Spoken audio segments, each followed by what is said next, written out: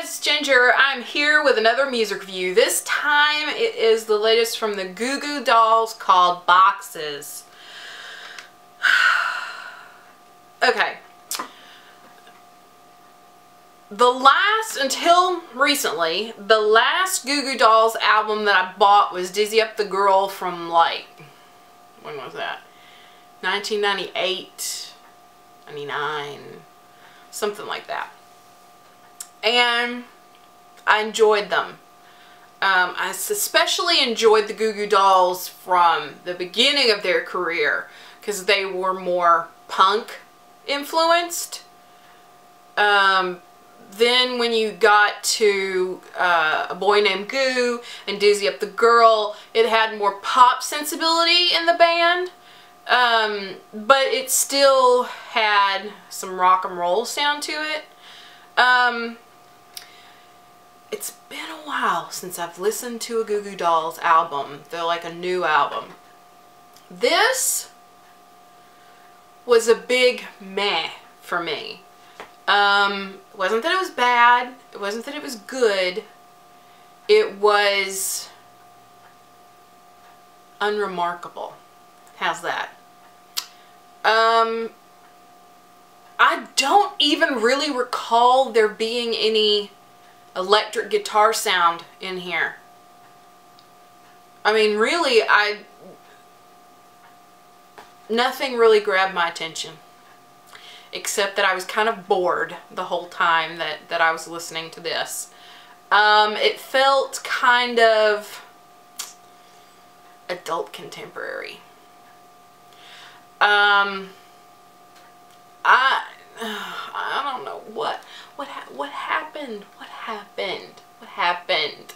And I mean, most of the songs were uh, sang by Johnny Rzeznik. There were a couple by um, Robbie Takac, I think his last name is, um, which is uh, sort of like the formula that they've done since a long time ago. I mean, one of my favorite songs by the Goo Goo Dolls was sung by Robbie Takac um, called Slave Girl.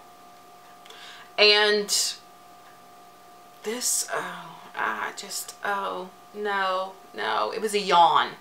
It was a yawn. Sorry. And I used to be a really big fan of their music. I don't know. There's something that, that, like, there's a lack of, like, their music even when after it became more of the pop rock thing, there was a mysterious sensuality, um, something that is lacking. This album is very generic sounding. It's, uh, no, it's, ooh, no. Mm. Um, the only song that I really, sorry, I have a, I have an itchy nose.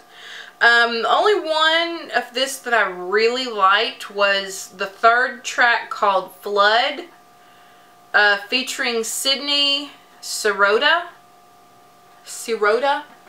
And I don't have no clue that who that is. It's a female because it had it was a female vocal.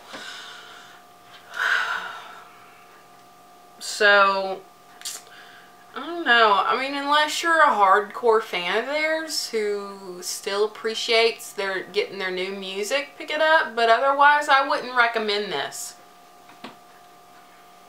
And I know that they got a lot of crap when they switched over to more of a pop rock sound um, because they were more of a punk rock band back when they started out in Buffalo, New York. And uh, they did get a lot of crap with, uh, I think it was with a, a, a boy named Goo, because it had more of the pop song type of thing happening, but it was still pop rock.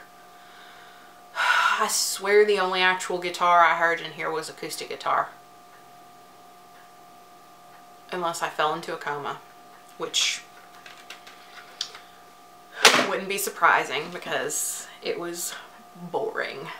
So give this a thumbs up if you enjoy these music reviews. Don't forget to subscribe if you haven't already so you can come to back so you can come back and sit for a spell. I'm, I'm sleepy. It's nap time. so you can subscribe so you can come back and sit for a spell and I'll see you in the next video.